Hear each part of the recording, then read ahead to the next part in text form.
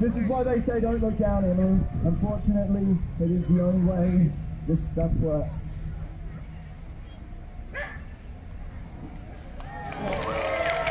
Yes, yes, yes!